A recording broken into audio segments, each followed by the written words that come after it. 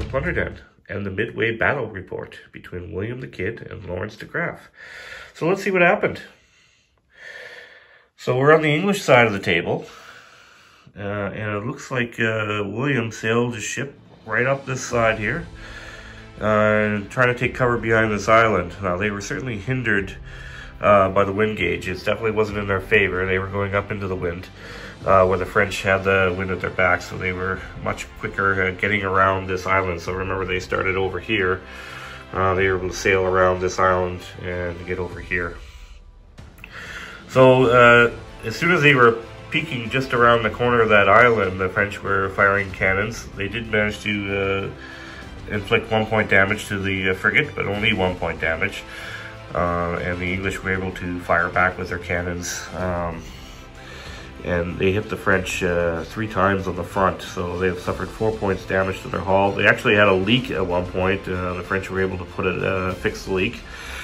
Um, but the uh, Interplogue uh, took an absolute beating in the front here, uh, which is kind of ruining the plans of trying to use them to board the the, the frigate here.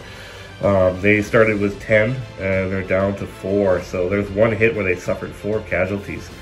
Um, the good thing about Interplogue is that uh, they have a good resolve and they were able to uh, only, they only have 2 fatigue. fatigue. They were shaken at one point, but now they've uh, got the fatigue back down to only 2, so...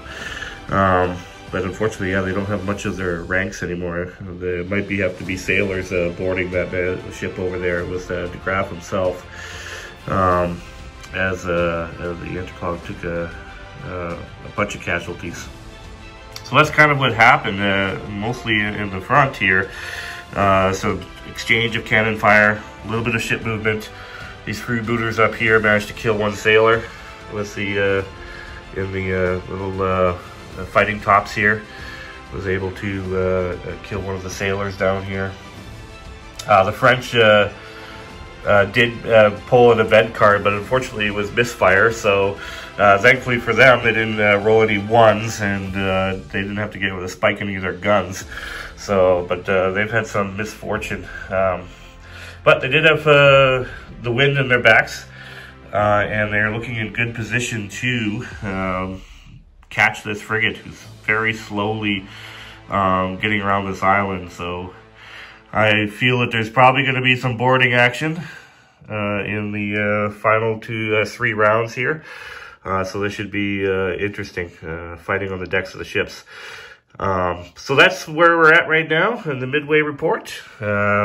we will move on to the final report, so I will see you on the other end of that.